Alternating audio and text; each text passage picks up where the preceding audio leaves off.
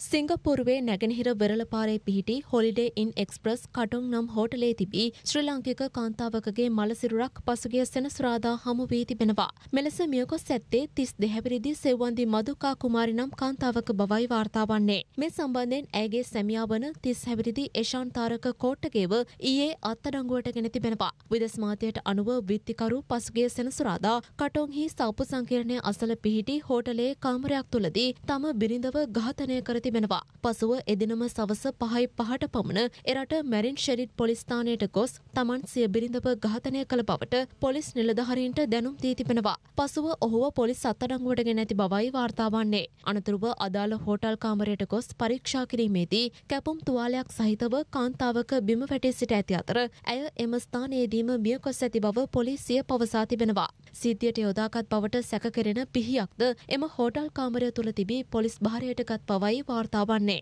එම ඝාතනය පසුගිය සෙනසුරාදා උදෑසන දහයයි හතලිස් පහත් සවස හතරයි හතලිස් දෙකත් අතර සිදු කර ඇති බවද සඳහන් වනවා. සැකකරුව අධිකරණයට ඉදිරිපත් කිරීමෙන් අනතුරුව ඔහුව සතියක් බන්ධනාගාරගත කිරීමටයි නියෝග කර ඇත්තේ. එසෙම සැප්තැම්බර් දහ අට වනදා ඔහු නැවත අධිකරණයට ඉදිරිපත් කරන බවටද වාර්තා වනවා. මෙම ඝාතනයට වැරදිකරු වහොත් සැකකරුට මරණ දණ්ඩනය හිමිවන බවටයි විදෙස් මාධ්‍ය වාර්තා කර ඇත්තේ. රටේ ලෝකෙ සිදුවන උණුසුම් පුවත් දැනගන්න සියත නිවස් YouTube චැනල් එක අදම සබස්ක්‍රයිබ් කරන්න.